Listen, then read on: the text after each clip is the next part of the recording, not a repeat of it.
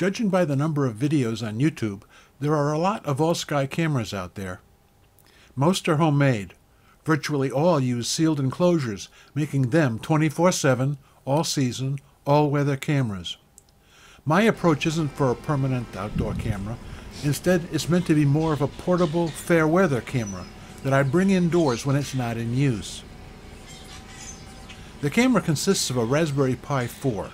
This one is the 4GB model, and it's loaded with a 32GB SD card. A 65 watt battery pack powers everything. It's a little overpowered and costs as much as the Pi, but it runs everything, and at the end of 13 hours there is still 40% power remaining, and that's at below freezing temperatures. There's plenty of reserve left for expanding functionality.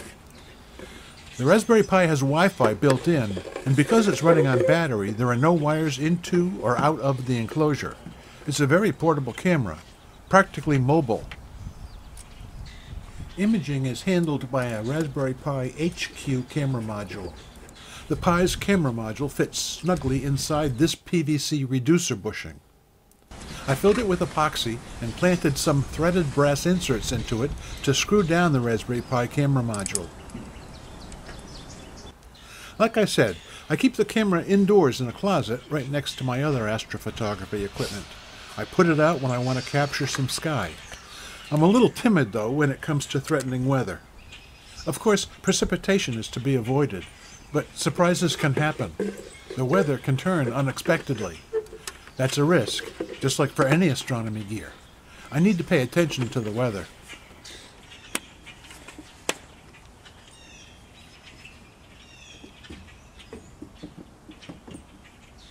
That's a lesson hard learned.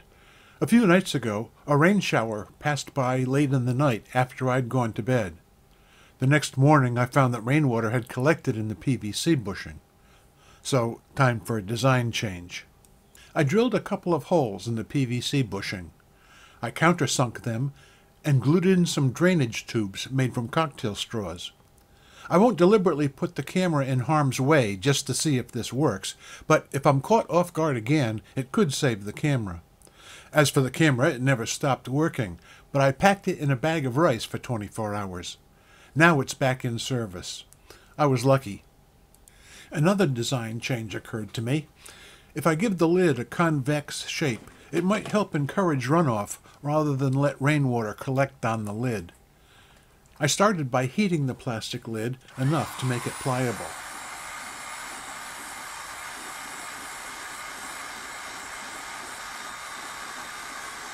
Then I used a mixing bowl to give it shape and weighed it down until the lid cooled.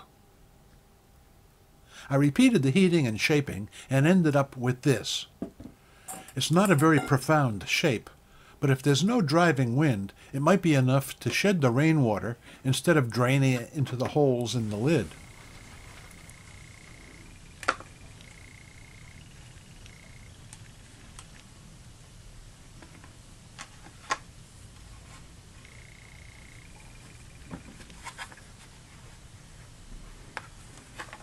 In cold weather, I insulate the camera.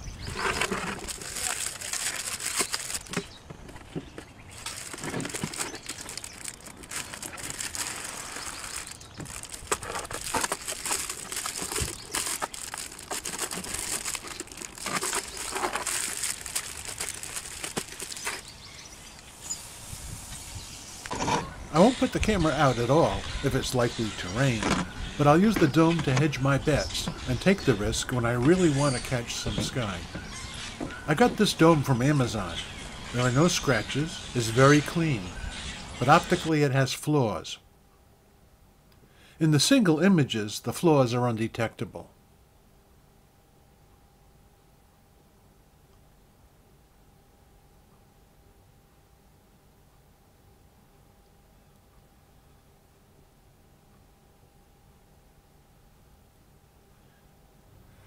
In the time lapses, well, watch the Pleiades. You can see stars wobble around. I tell everybody that it's gravitational lensing. But there's no hiding the distortion in the star trails. Aside from the distortion, though, the dome displays reflections. Here the bright moon, but most often the neighborhood lights get reflected. So I rarely use the dome. Instead, I prefer this, a kind of collar. This one is made from a cottage cheese container. It's held in place by magnets, just like the dome. I like it because, among other considerations, there's one less layer of glass in the light path. But watch out for vignetting. The lens is better protected if it resides slightly withdrawn into the collar, but it needs a clear, wide-angle view of the sky. My lens has a field of view of 120 degrees. The height of this collar and the diameter of its opening is just right for this lens. The heat generated by the Raspberry Pi rises through the holes in the lid and into the collar. The warm air escapes through a gap around the lens, suppressing dew formation. Well, that's my scientific theory of thermodynamics. But is borne out by these shots showing the collar on a cold winter night. On this particular night, it was minus 4 degrees Celsius. That's frost on the outside of the collar, but notice that the lens is clear. Ignore the sagging enclosure. It's lying on its side. This is another night. Last night, actually. It was a lot milder but wetter. I had the presence of mind to record the conditions. In the midst of all this wetness, the lens is clear and dry. The all-sky camera isn't merely mounted to a pole. The pole is the skeleton of the camera. It's a combination of a 3 quarter inch PVC pipe and a 2 inch PVC pipe. The smaller pipe is the backbone of the camera, while the larger pipe is there for support and rigidity. The pipes are coaxial and are held in place by rubber donuts. These are anti-vibration pads that I cut the donuts from. I think I got these from Home Depot. If not, then the link in the description is for identical pads.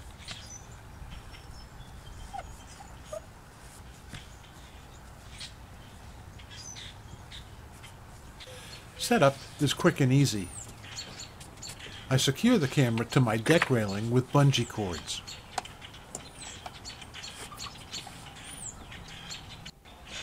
Each time I put out the camera, it's from a cold start. I connect the battery and button up the enclosure.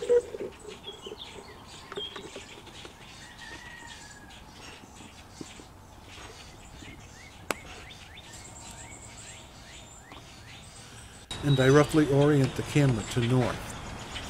Even if it doesn't rain, there are potential threats to the camera, which include wind, vibration, gravity waves, but most nights the camera remains unmolested. If it starts to rain, and I'm awake, I'll retrieve the camera. Takedown takes but a moment. Links for the Raspberry Pi, the camera module, the lens, the battery, they're all in the description. I got the coffee at Walmart.